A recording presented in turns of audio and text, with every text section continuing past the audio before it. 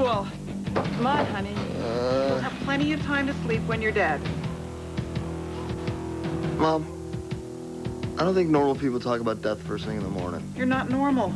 Now get up.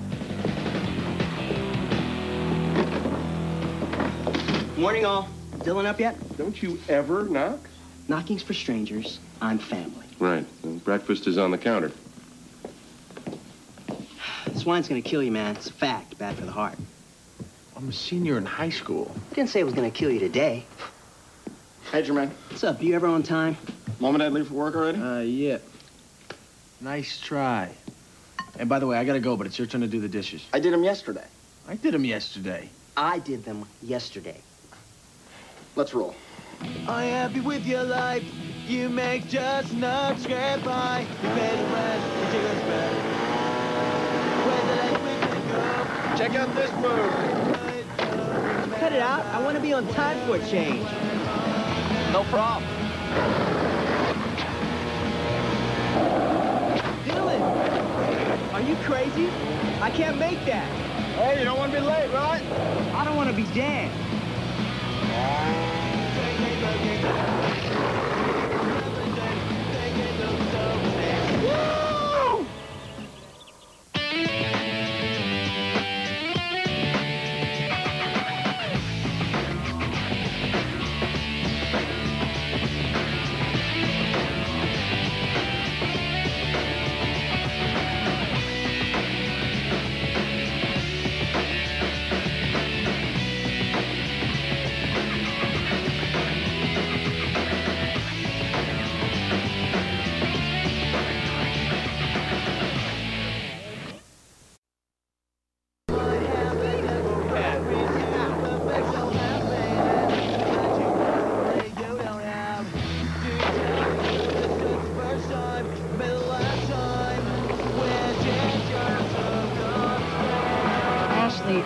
You have to play it so loud? Um, no, don't mom me. This is the one time a day I get to talk to you. It's Eight in the morning. Nothing's happened yet. Very cute. Now, how's school?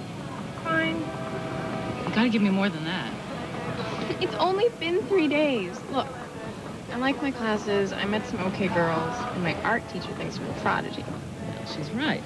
Look, I just want you to make friends. I had friends, lots of them, then we moved. Come on, Ash. Look, Mom, I'm okay. Really. I know you are, sweetie. I just like to hear it. Listen, I have to work late tonight, so straight home after school, okay? Okay. Glad we had our talk, Mom. I truly feel close to you.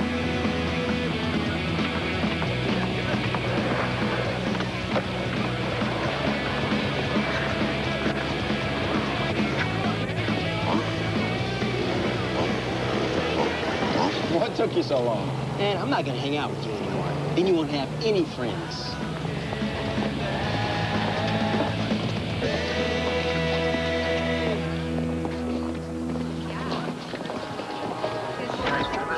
Very, very well.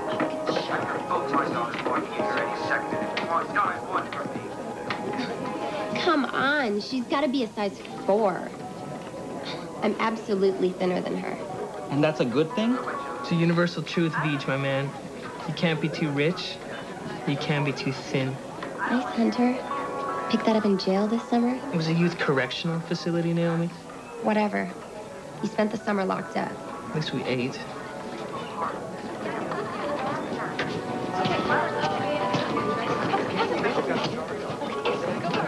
Hey, Mr. Pena, how you doing?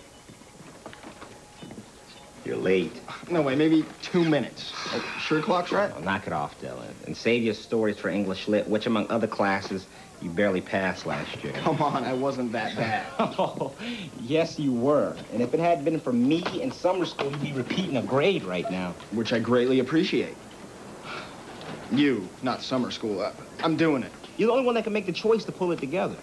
Team needs me. You know the deal. See average if you want to play soccer. I'm all over it. All right, well, check me Friday after your test. No grades, no team. You know, Mr. Pena, you need to learn to relax.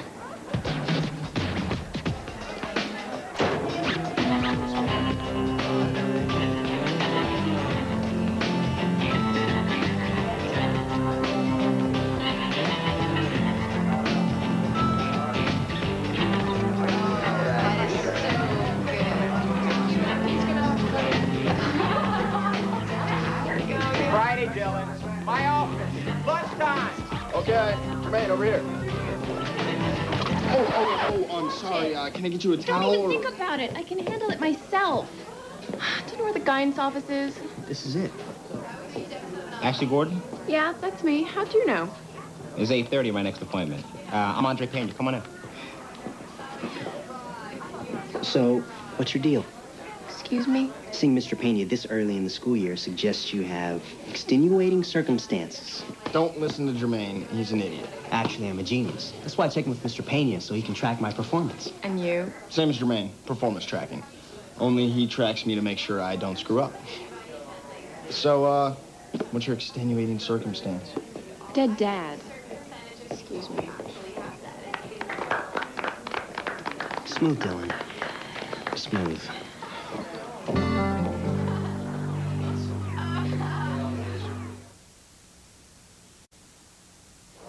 High B average, art courses, community service. It'll all look good when it comes to college. Thanks. How's your schedule? Fine, I'm just making up that week